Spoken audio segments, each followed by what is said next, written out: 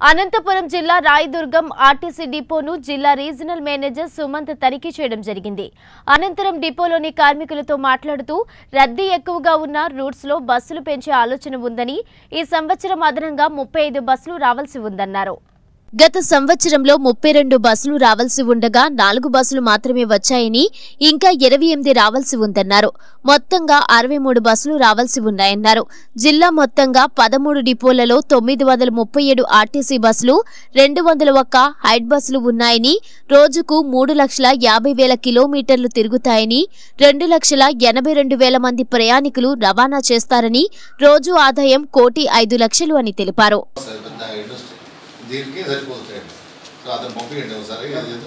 Reason identify చేయమనండి.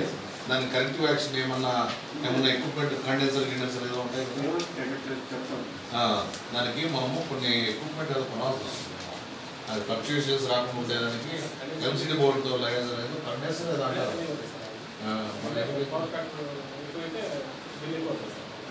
అది identify చేయమనండి. రీజన్ ఐడెంటిఫై చేయమని మన ప్రాబ్లమా? లోకల్ ప్రాబ్లమా? అది ఆ ప్రాబ్లం రెక్టిఫై చేయొచ్చా లేదా? అనేది అంటే నేను కూడా అవసరమైతే ఇన్వాల్వ్ అవుతాను. ఎస్సీతో మాట్లాడడము ఎస్సీటీ బోర్డు ఎస్సీతో నా బ్యాచ్ జన్మ ఎస్సీ లేకుండా?